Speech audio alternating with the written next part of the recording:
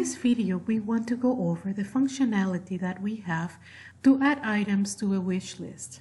It's very simple. So all you have to do is go to shop. Let's say I want to go to printed leggings and I want to add one of these items to my wish list. So all I have to do is when I hover over the item itself, you're going to see three uh, little icons that show up. If you click on the heart icon, it says add to wish list. So you simply click on that icon. You're going to see a line that says success. You have added um, Americana to your wish list. And you can do that, you know, with as many items as you want.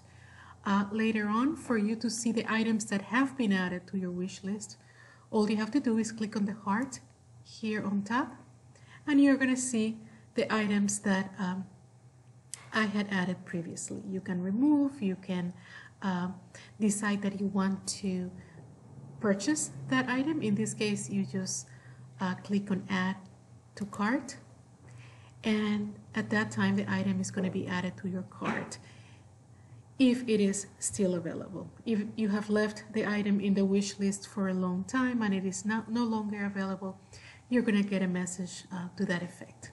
So it's really simple and it's a very helpful functionality that you can use if you visit our website and you just want to add the items that you like to, to your wish list.